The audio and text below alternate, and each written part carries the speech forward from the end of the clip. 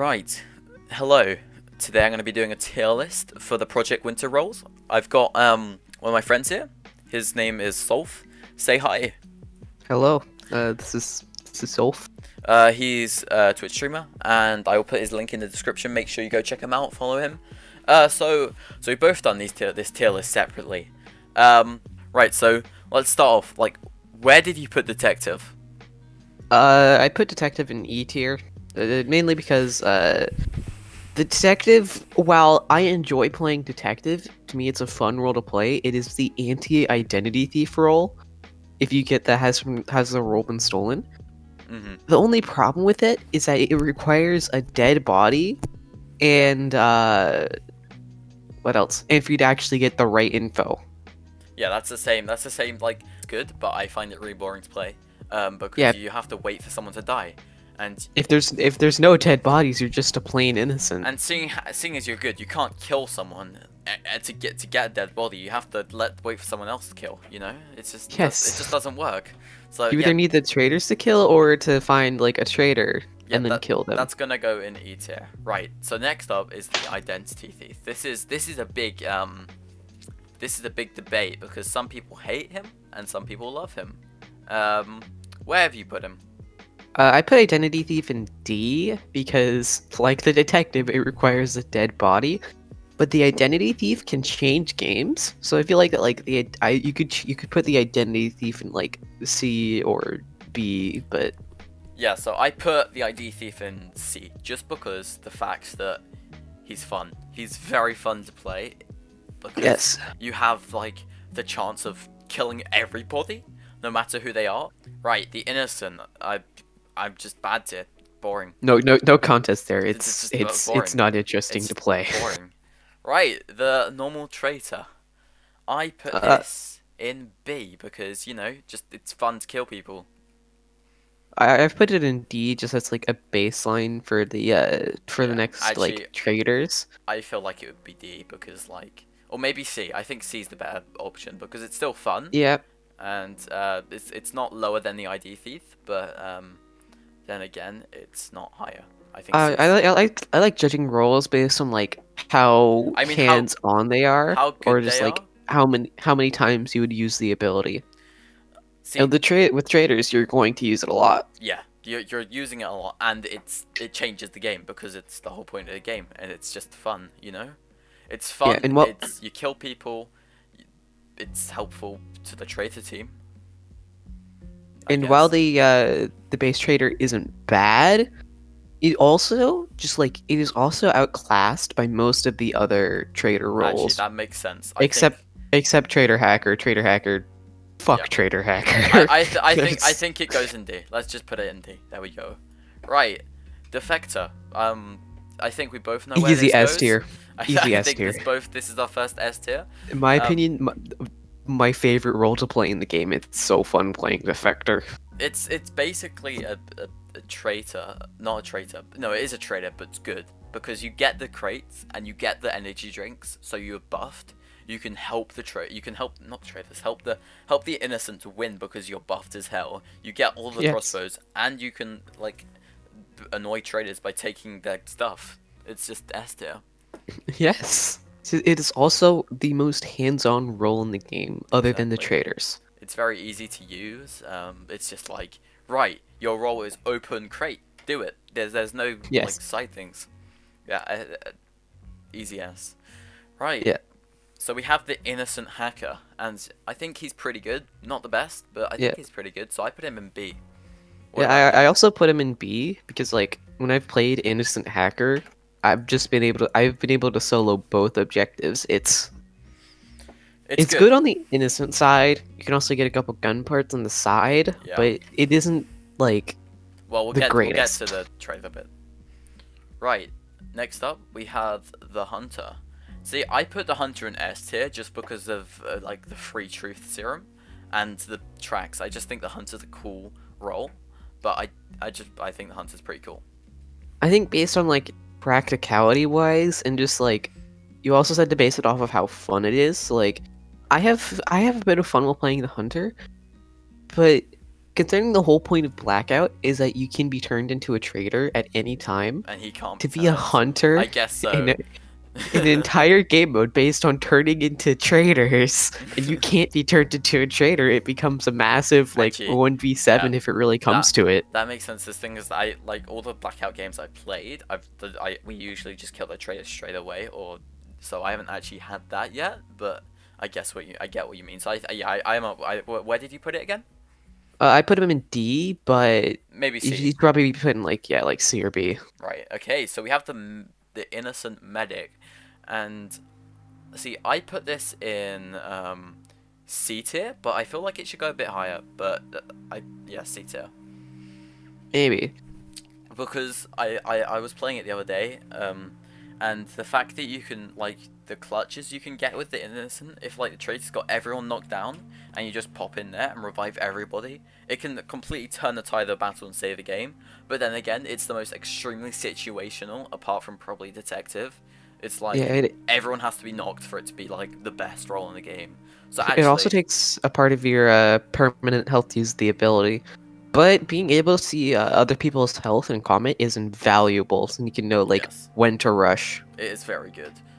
And so I yeah no I think innocent medic should go see. Yeah, Right, so the medium, this is a very interesting role, and I put it in B tier because I haven't actually had much interaction with ghosts when I'm using it, but uh, where did you put it? I put it in uh, S tier uh, because the medium can kind of be broken if you can ask the ghosts where where stuff is. That's actually true. Yeah, that that that's that's just an that's an easy S. That's an easy S. Yes, like like you could just ask, okay, so who killed you? And then they would circle around you, killed you. So yeah. you can ask, hey, who did Actually, you kill? If they don't answer that, then you can just call them out for being the traitor. There, That's funny. Right, so or if they say that they killed the traitor. But then, but then again, in in that in that in that game mode, people don't die as often because, like, if you have a demon, they'll just get converted rather than die, and then the Whisperer. whisperer, really kind of tr- tries to convert you rather than kill you. I, I I kill as Whisper just because if like yeah, if somebody knows I'm traitor, I'm just gonna I'm just gonna kill them if yeah, they're not even sense, close. Right, so Padre, I put him in A tier because giving someone a massive buff is very good, very in- very cool idea. It's like you're not getting a buff yourself, but you're helping someone else. But then again, you could buff the traitor, so you gotta be careful. Yeah, that I, I've I've had it I've had it change games. Like when I when I played the hunter one time, I uh I got in a in a one v two with the traitor, and I almost won that one v two. yeah, it's it's very very good. I think definitely an A tier. Yeah. Right, so It also if you put it on the demon, you get like a or if you put it on the demon or whisper, you get, it gets like what a seventy five percent yeah. Or something. Well, if the It's demon kills huge. the Padre and then like uses him, that The demon's not going to kill the Padre. I mean, like, I mean, convert him. That's what I meant. You know what converting, then yeah. Right. So we got innocent scientist, and I put the innocent F. scientist at bad because he's just. F. I but hate yeah, innocent F. scientist. He's just. But I have to say, it is a, at least a step above the uh, the normal Okay, innocent. it- Like yeah, you, you at least have something to do. You still have. s- Yeah, that's that's true. Um, right. Soldier. I put the soldier in B tier because having an explosive crossbow on um on innocent side is very good, very good, and usually wins against traitors. And if you have that chance, you've won the game almost. If you have not someone who knows how to use it, so that's why I put him in B because if you if you get the armory, then you're good. I I put the soldier in F, like the same as like the scientist, just because it the soldier's main gimmick is that it can open the armory, which is something that also that the traitors can do. So if the traitors can just like trick somebody into thinking that they're the soldier, when you're the soldier, then you can just open the armory. Actually, that's true. And then And- kill them inside, which has Yes. almost happened to me once, but I managed to overpower the traitor. Um, I mean, I've I've tried I've tried doing that, but I, I wasn't juiced up at all. I'd so it was, it I'd was kind of stupid I'd on my say part. soldier's better than the scientist. It, it's it you still like the scientist doesn't really help innocents Yes, even if you revive because the whole point of innocents is being able to communicate. That's not really the point of traitors, but like being able to communicate with the innocents is like everything, and if you if you get revived, you you, you basically just, you know, you, you're useless. But Yeah. I mean, uh, explosive crossbow against traitors can win even if they're buffed up. So that is true. Explosive crossbow is overpowered. I I would say E or D. Uh, probably probably D. Yeah, we'll put it in D. Right. Yeah. We're getting we're back onto the the um, traitors. We got demon. Uh, I put demon in A. Yeah, I would I would say oh I put him in S just because you know like if you just if people were down and like you get everyone against each other, you can just win the whole game by converting people. It's a very good role, but I would say A actually because it's not defector level. I Yeah. say. I put, I put him in A because like a lot of the drawbacks of the of the demon is that if the demon dies, then everybody else dies. So you should focus on like at least like getting one person Yeah. or something, just like picking them off, and then using that one person to come with you so you can get more kills. So the more kills you get, the more converts you get. Yeah, that's true. I think A, A yeah, definitely A. Right. Yeah, but the thing that holds it back, like unlike the Whisper, is that it doesn't get the the red radio, so you'd have to use the normal radio. And if the innocents are on the normal radio and you're using it for traitor stuff, then uh, you might get called out for it. right. So yeah, that's true. That's a bit of a drawback. Right now and it have, also makes it harder to coordinate. That's true. We have traitor hacker, which I mean, traitor hacker's like worse than the traitor normal traitor because like I just put it in D because it still acts the same way as normal mean, I guess traitor. so. It just you can has you a bad ability. you can inadvertently help the traitors using it though. Right, let's just put it in D. So the next one we have Yeah. is the traitor medic, which I I put in S. I just put that in S just because like in combat the power to see someone's health is a lot better, but traitors are doing a lot more combat than normal medics. So like a traitor that can see the health of others, not its ability so much, but if you can see the health, being able to have that combat info and advantage is a lot better. So I, I put the the traitor medic in uh, in C, but it could easily be like B or A, because uh, I've already said this, but being able to see other people's health is Yeah. invaluable, and it has helped me discern whether somebody should rush or sh- or to just like stay back.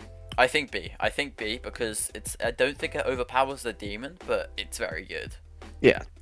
Right, the traitor scientist. I put this Yes. A, uh, but I guess S is like. Let's just hear your argument. Like, why is this? Being able to bring somebody back as a traitor is in the normal game mode is really good. And if there is a and if there is an identity thief and takes uh let's say you have a dead traitor, they take your traitor partner, uh they take their role, Mhm. you become you have the half of the lobby as traitors. It- yeah, well, there would be three people as traitor, but I can see the drawbacks. Like you have to open truth serum, but Yeah, to me it's is- really fun because of the risk of the truth serum. I guess so. You have to open the truth serum, but then Yeah. you get like an extra traitor, which a three v. You get a T if, bait. if these traitors like have the energy drinks, they're they're bro- they're dead. The the, the innocents Yes. The thing is, because most innocents aren't expecting a third traitor, so whenever like I'm getting attacked by two, I'm like, okay, so no one else is it. And then if there if there's like a revived person, it's just like, whoa, okay. It's, yes. you just see it's like, it's very surprising and usually results in a traitor win. So yeah, I guess S tier it is. Now, in, in the normal game mode, it's S tier. In uh, in blackout, it would probably be like Yeah. B tier or something because it's just not useful. Right, so I put the Whisperer in F, just because, right, hear me out. It takes so long to convert someone. Like, when I've, the three times I played Whisperer, I've never actually managed to convert someone, because I usually just end up, like, they end up completing the thing. Even if I focus all the things on one person, I still just never end up managing to do it. And then they get suspicious of me, like, following this one random person. And it's just like, you know what, it's, it's so much worse than Demon, I would say, but, like, you put it in, uh...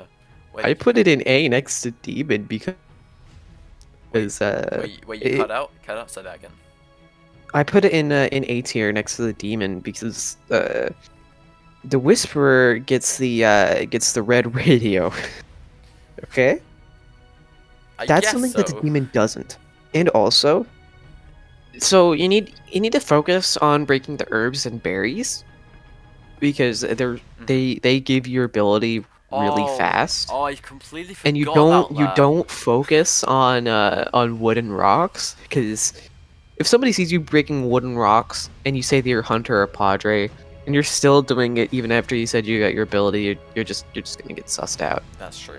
but if you break the berries and herbs under the guise of oh it's my bonus objective oh i'm pretty low oh my food's getting low you can continuously do that like I, i've gotten somebody in like two minutes just just by breaking the herbs and berries I guess so. I get. I, I forgot that. Yeah.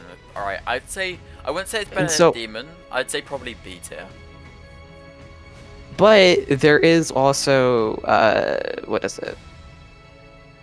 You can get multiple people at once without having to. You knock someone. also don't have to down anybody. There. That's what. You do not have to reveal that you are a traitor to somebody. And you can just hold F on them and boom, they are a traitor. Okay. Yeah. Do you know what? I, you've convinced me. We're gonna go A. So we have the Yeti now. What do you think the Yeti? See, I, in like, uh, in the like, about twenty-five games I've played the Blackout, I haven't got Yeti once. So I put it in E because I don't know what it is. Uh, I put Yeti in C because it- is the ultimate like true neutral role. I guess so. I. d- I mean- Unlike Identity Thief, it doesn't need a dead person to uh to choose a side. It can just choose the side, or if the Yeti really wants to, it can just switch back to the other side if they're about to escape. Yeah. Like, it's gotten to the point where like I've just said I've said straight to the Yeti, if they are about to escape, and you uh and we are not winning, then I will let you escape because you have been on my side. You deserve to win. Mhm. The only problem with the Yeti is that you need to get your bonus objective. done. Yeah. Okay. Right. Uh. So I guess where do you put it? C. Right. There we go. Yeah, but let's see. do, do you want to do the outro? Uh, follow follow my Twitch. Uh, do it now. I, I need like four or five more for uh, for affiliate like followers. Other than that, I just need viewers. Please watch my streams. I'm I'm very I'm very lonely. Now I just need, I just we need is I just need people, please. uh, we just need an exit line. Just just say something random, and then it's just gonna end. Okay, bye.